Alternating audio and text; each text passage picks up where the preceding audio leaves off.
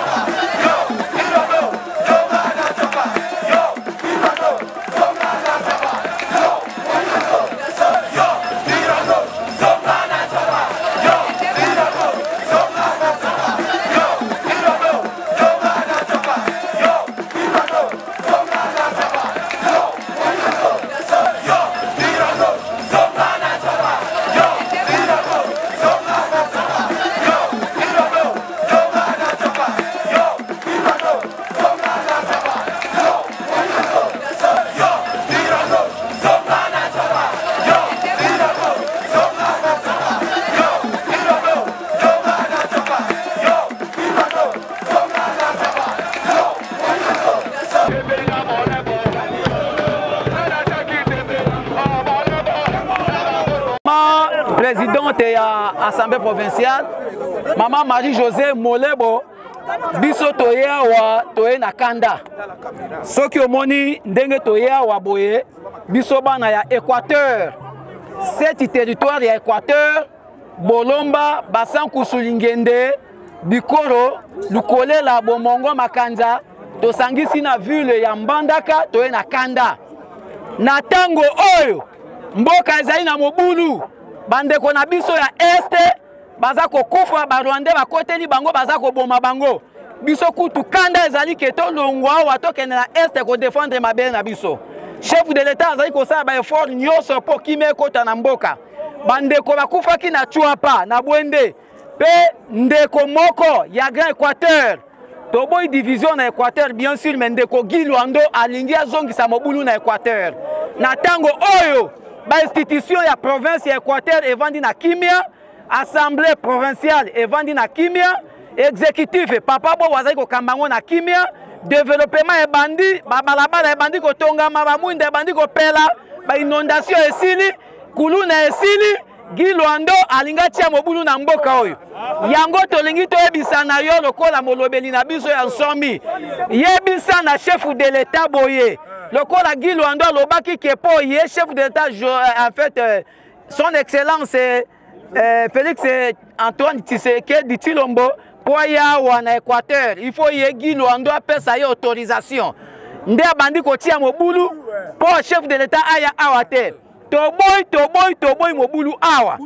tosengi na chef de l'etat asala préparatif na ye malembe malembe aya na équateur jean lucien busa na baliyau bango na bagi lwando balingi batiya mobulu na équateur mpe chef de l'etat azwa baprécaution avandisa baministre na ye na kinshasa baministre wana misato batia na kona mbandaka te topesi yo maloba olekisa yango fidèlement tokosala mobulu ya koleka tokokata bilamba tokoya mitakala bokola tokomona gilwando na aeroport ya mbandaka na banza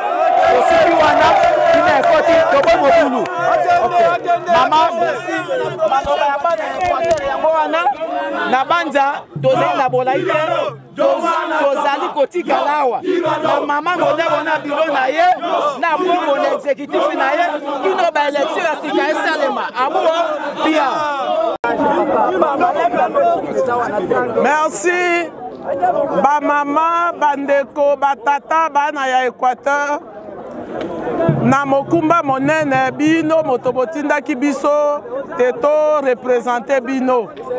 tomoni bino ndenge boza koloba na kanda mpe bato ebele batondi na assemblee epesi biso mpasi tolobi toyoki chef de l'etat aza kobunda mpo kimia ekɔta na mboka mpe misala ya developema ekɔta na mboka kasi na ntango oyo alingi mobulu te toyoki ndenge boyebisi biso biso tozali première institution baloboli na bino na kati ya province tozwi makambo wana manso mpe tokokomisa yango na bakonzi boyebi ete tokoki kolobela yango to mpe na resolution ntango tokokɔta na plenière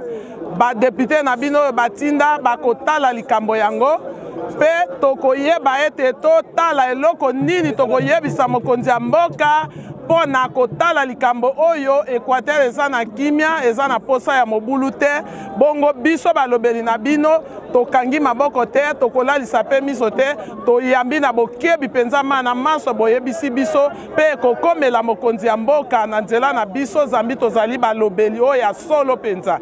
napesi bino merci eh, manso makosalema mpo ete mokonzi ya mboka ayoka boleli na bino mpe nayebi ete akopesa bino solution oyo wana bazali bandeko na biso toyebi tokotuna bango mpo na nini makambo oyo etangami na nkombo na bango ndenge bino bolobi wana bango mpe tokozanga te kotuna bango mpe mokonzi ya mboka bipai bazali akotuna bango biso moko mpe tokobenga bango tokotuna bango toverifie oyo bino population boyoki biso nzokande population ezali mokolo pouvoir ezala biso ndenge tozali badepute awa ezali nde pouvoir na bino ezala bango ndenge bazali na kisasa kobanda mokonzi ya mboka pouvoir ezali ya bino population ezali lisusu te bino bopesi biso pouvoir na bino bongo biso tobanda lisusu konyokola bino koboma bino na pouvoir oyo biso oyo bino bopesi biso toyoki maleli na bino mpe ekokenda tout droit epai na